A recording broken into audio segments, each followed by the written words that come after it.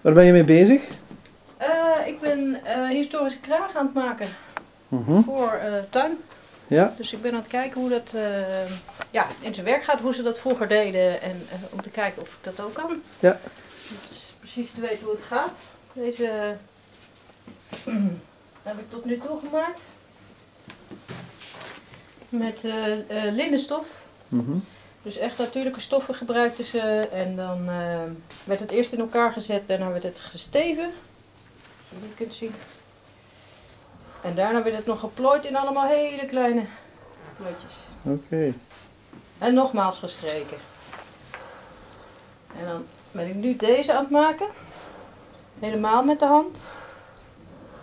Dus echt zonder eh, machine. Met nog dunnere stof. En er komen nog meer plooitjes in.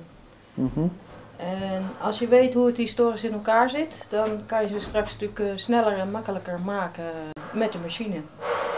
Je weet hoe het eruit moet zien. En eh, nou, ik heb natuurlijk ook wel gekeken, gesmikt, hoe ze het gedaan hebben. Dit is een heel mooi boek van Janet Arnold.